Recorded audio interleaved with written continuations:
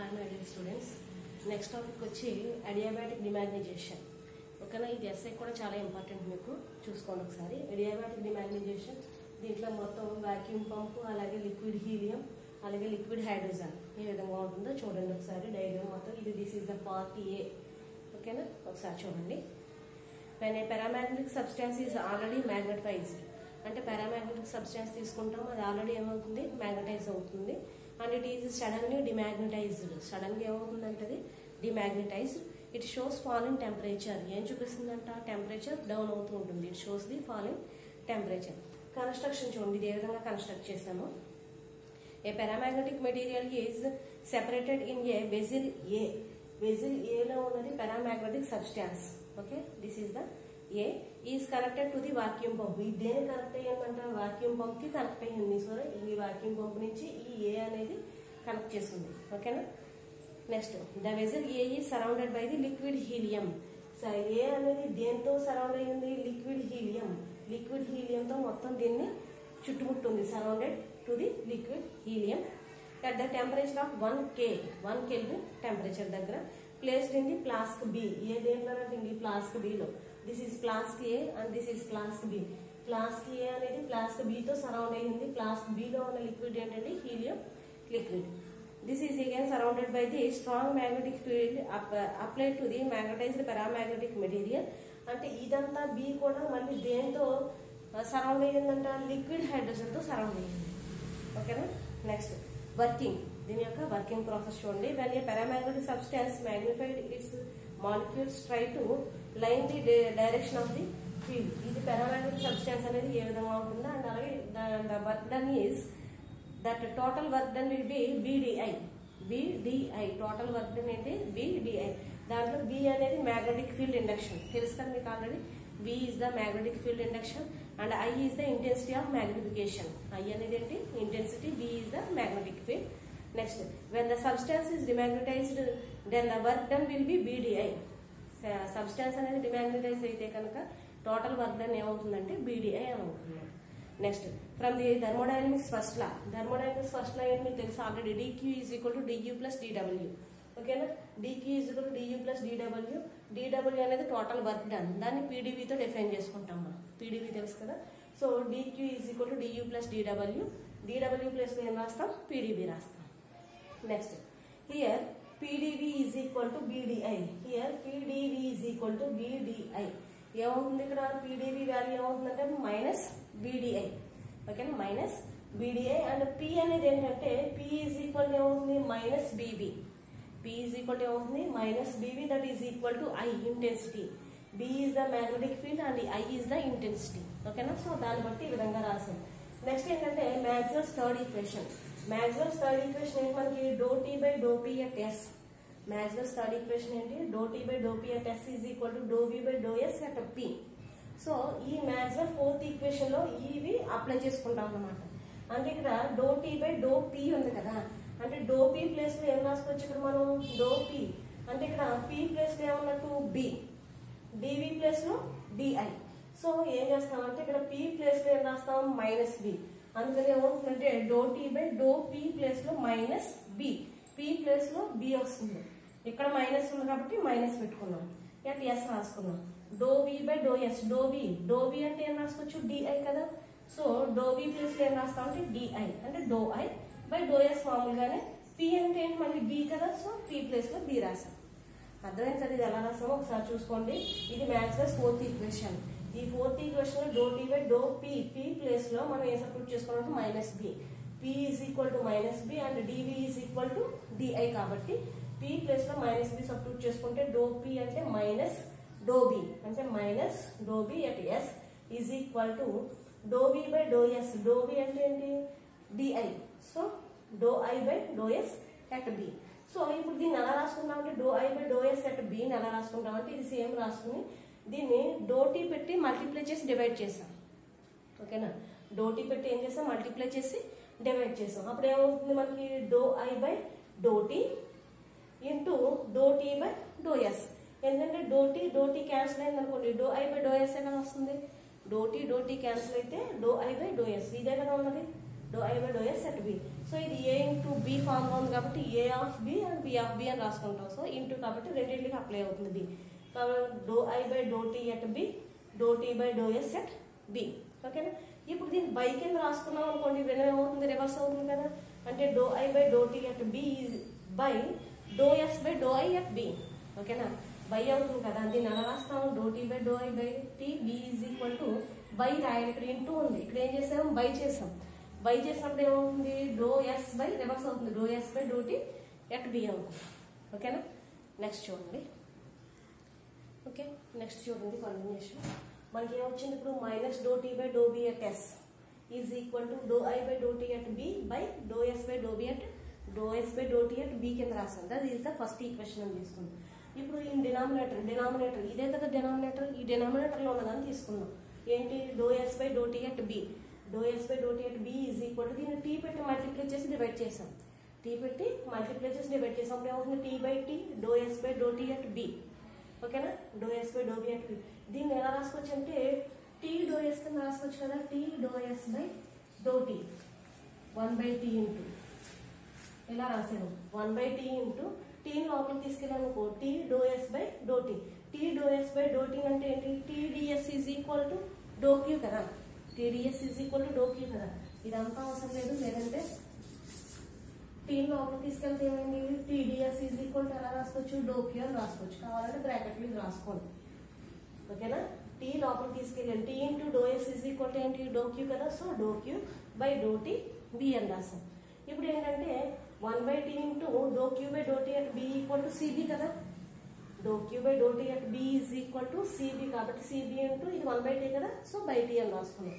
This is the CB doe Q by doe T at B is equal to CB so ఆ value ఇక్కడ substitute చేసుకున్నాం CB by T next ఏంటంటే if M is the mass of the specimen M అనేది mass కింద తీసుకుంటే కనుక ఏమవుతుంది అప్పుడు doe S by doe T at B is equal to M పెట్టి మల్టిప్లై చేస్తాం దీన్ని.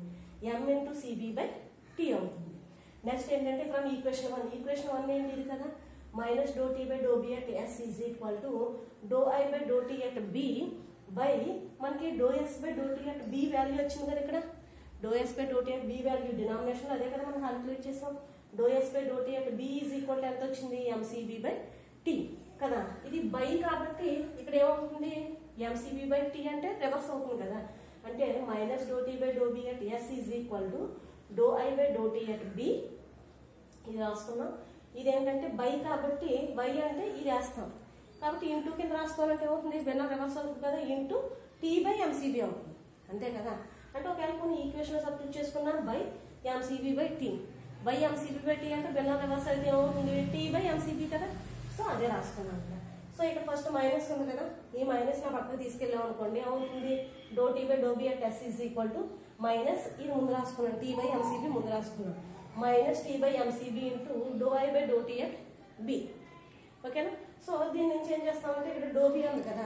ఈ డోబీలో పక్కకు తీసుకెళ్తే ఏమవుతుంది? డీబీ కింద రాసుకోవచ్చు కదా? నెక్స్ట్ స్టెప్లో అదే రాస్తాను చూడండి నెక్స్ట్ చూడండి మనకి doe T by doe B at S is equal to minus T by MCB into doe I by doe T at B వచ్చింది కదా సో దీంట్లో ఏం చేస్తామంటే డో టీ డీటీని పక్క నుంచి డీబీని పక్కకి తీసుకెళ్తాం. డీబీ ఇక్కడ డివైడ్ చేస్తాం కాబట్టి ఆ పక్కకి వెళ్తే ఏమవుతుంది? మల్టిప్లై చేస్తాం. So minus T by MCB doe I by doe T at B DB అవుతుంది. This is the equation two ఓకేనా నెక్స్ట్ ఏంటంటే మనకి ససెప్టబిలిటీ ససెప్టబిలిటీ చూడండి ఒకసారి ఈక్వేషన్ మనకి ద ససెప్టబిలిటీ జై of the magnification is equal to జైతో define చేస్తాం. దాన్ని జై ఈక్వల్ టు ఏంటి? Intensity by magnetic field intensity of magnetic field by magnetic field induction ఓకేనా సో ఏమవుతుంది? I by B according to the Curie's law Curie's law ఏంటి మనకి జై proportional to one by T susceptibility is proportional to the one by T అంటే temperature T అనేది ఏంటి? Temperature so జై is equal to something constant into T కింద రాసుకోవచ్చు కదా something constant into one by T so C by T అవుతుంది. Next ఏంటంటే ఇది జై equal to I by B అలా ఇది జై equal to C by T so ఈ రెండింటిని ఈక్వల్ చేయొచ్చు కదా. I by B is equal to ఏమవుతుంది? సి బై టీ కదా. So I by B is equal to C by T I కావాలి మనకి. సో బి ఇక్కడ డివైడ్ చేస్తుంది? ఆ పక్కన ఏమవుతుంది? మల్టిప్లై చేస్తుంది కదా. So I is equal to BC by T I equal to ఏమొచ్చింది? బీసీ బై టీ ఇది తీసుకెళ్ళి మనం సెకండ్ ఈక్వేషన్లో సబ్స్టిట్యూట్ చేసుకుంటాం. దేని ప్లేస్లోని ఐ ప్లేస్లో? అంటే ఇక్కడ డో ఐ ఉంది కదా. ఐ ప్లేస్లో సబ్స్టిట్యూట్ చేసుకుంటాం చేసుకున్నప్పుడు ఏమవుతుంది? DT is equal to minus T by MCB T minus T by MCB doe by doe T of doe by doe T of I ప్లేస్లో రాస్తాం. ఐ ప్లేస్లో ఎంత రాస్తాం? బీసీ బై టీ అంటే doe by doe T of BC by T into DB DB రాసుకున్నాం ఓకేనా ఇప్పుడు only do T కాబట్టి టీ దృష్ట్యా మాత్రమే చేస్తాం. బీసీ కాన్స్టెంట్ కాబట్టి ముందు రాసేసుకుంటాం. సో ఏమవుతుంది? Minus T by MCB into BC ముందు రాసుకుంటే doe by doe T of one by T doe by doe T of one by T derivation ఏంటి? Minus one by T square కదా? మీకు already ఫార్ములాలో తెలుసు. Doe by doe T of one by T అంటే one by X doe by doe T of one by X ఫార్ములాలో ఉన్నట్టు. అంటే దాని formula ఏంటి మనకి? One by minus one by X square కదా?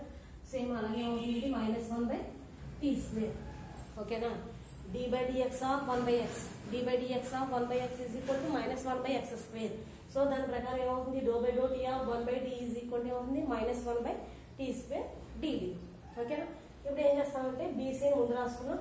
ఇక్కడ టీ స్క్వేర్ ఈ టీ స్క్వేర్ వన్ టైం పోతుంది పోతుంది కదా? ఇంకా ఇక్కడ టీ ఉంటుంది. అంటే ఏమవుతుంది? పైన బీసీ మాత్రమే ఉంది. BC by MCB into T. MCB into T DB DB రాసుకున్నాం. ఓకే. ఓకేనా నెక్స్ట్ చూడండి.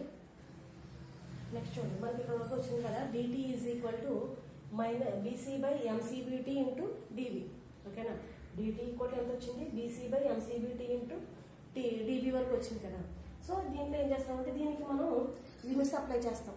Temperature varies from TI to TF and అలాగే బి మ్యాగ్నెటిక్ ఫీల్డ్ కదా?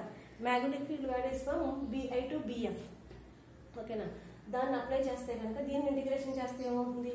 Integral TI to TF DT final initial and final temperatures TI and TF is the initial and final temperatures so ఏమవుతుంది అప్పుడు minus sorry integral TI to TF DT is equal to ఇక్కడ C by MCBT constant B DB కదా? Only dB అంటే B terms మాత్రమే మనం integration చేస్తాం. So C by MCBT అనేది constant కాబట్టి అది ముందు రాసుకుంటాం సి బై ఎంసీబీటీ ఇంటిగ్రేషన్ ఏం చేస్తాం? బి డిబి చేస్తాం. So integral BI to BF BD ఓకేనా సో అప్పుడు ఏమవుతుంది this is the final and initial కాబట్టి ముందు పైకి రాసుకుంటాం కదా. TF minus TI is equal to C by MCBT into దీన్ని ఇంటిగ్రేషన్ చేస్తే ఇంటిగ్రల్ ఎక్స్డిఎక్స్ ఫార్మ్లో లో ఉంది. Integral XDX equal to formula ఏంటి? ఎక్స్ స్క్వేర్ బై టూ కదా. సో అదేవిధంగా ఇది ఏమవుతుంది? B square by two X square by two formula apply చేస్తే ఏమవుతుంది? ఇది B square by two limits varies from BF to BI BF to BI అంటే ఏం చేస్తాము? ఒకసారి బిఎఫ్ అప్లై చేస్తాం ఒకసారి బిఐ అప్లై చేస్తాం. ఇక్కడ టూ కాన్స్టెంట్ కదా ముందు రాసుకుంటాం. అంటే సి బై ఈ టూ ఇక్కడ తెచ్చేసుకున్నాం ముందుకి. C by two MCBT into BF square minus BI square BF square minus BI square అంటే ఒకసారి బిఎఫ్ ఒకసారి బిఐ ఇక్కడ if BF equal to zero BF equal to zero అయిపోయిందంటే కనుక మనకి ఏమవుతుంది? బిఎఫ్ జీరో అయితే ఇదే కదా ఉంటుంది ఇంకా. అంటే ఏమవుతుంది ఇంకా? Minus C into BI square minus C into BI square by two MCBT two కానీ అంటే రిలేషన్ వచ్చింది minus CBI square by two MCB T వచ్చింది ఓకేనా నెక్స్ట్ చూడండి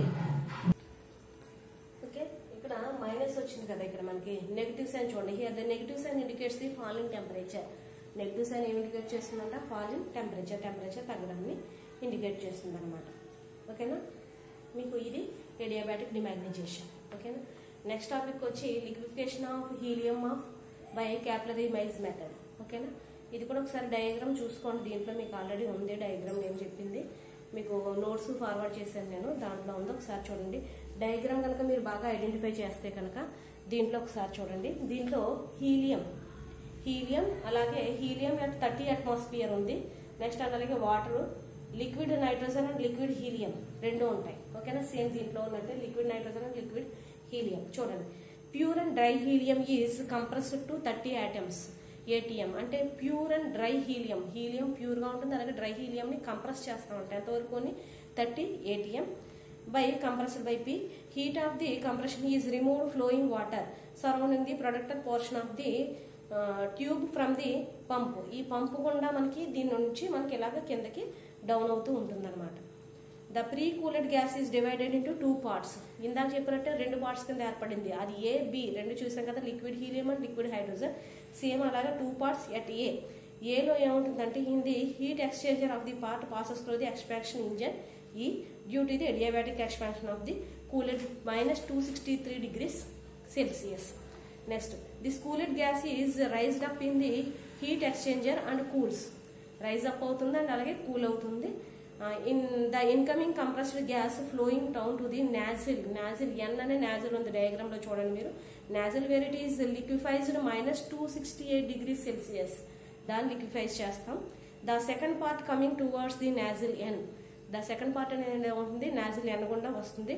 The second part is now so cooled second part ఏమవుతుంది? బాగా cool చేస్తాము. That after the expansion of N it is liquefied expansion అయ్యాక ఏమవుతుందంటే అది లిక్విఫైజ్డ్ అవుతుంది. The liquefied portion is collected in the flash and the remaining part of the gas goes back to the కంప్రెషన్తో to the heat exchanger వెనక్కి వస్తుంది. Through the heat exchanger helium is only the substance that remains the liquid even the absolute zero okay refrigerator చూడండి. మీకు refrigerator అనేసరికి reversible irreversible process చూశారు కదా? దాన్ని. The reversible engine working on the one direction call the heat engine ఒక డైరెక్షన్లో ఉంటే కనుక రివర్సిబుల్ ఇంజన్ దాన్ని ఏమంటాం? హీట్ ఇంజన్ అంటాం. And the working is the backward direction is call the refrigerator working ఏమవుతుంది? బ్యాక్వర్డ్ డైరెక్షన్లో ఉంటే దాన్ని ఏమంటాం? రిఫ్రిజిరేటర్ అంటాం. The refrigerator takes an amount of heat Q two Q two నుంచి హీట్ తీసుకుంటుంది. From the cold body to help the work of W the coefficient of the performance of the refrigerator is given by K is equal to Q two by W w q2 by w మీకు already reversible irreversible process Carnot's engine చూసినప్పుడు చూశారు. K equal to Q two అంటే ఏంటి? T two by W అంటే T one minus T two okay properties చూడండి. It has low boiling point ఏముంది low boiling point and low freezing points low boiling points and అలాగే low freezing points it should be vapour at the normal temperature and pressure అది ఏమవుతుంది vapour అవుతుంది at normal temperature and pressure it should be non explosive and should be not to had bad effect on the store food materials మనకి ఏంటంటే అంత bad effect ఏమి ఉండదు. Food materials అవి store చేసినప్పుడు కూడా it shows have the high thermal conductivity ఓకేనా thermal conductivity is very high ఓకేనా చూడండి అమ్మా